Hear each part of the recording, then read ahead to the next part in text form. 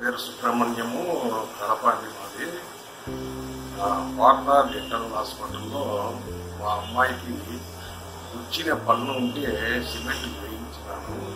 ఒక పన్ను డ్యామేజ్ అయి ఉంటే ఆ పన్ను డాక్టర్ కార్తిక్ గారు ఆ పన్ను తీసేసినారు.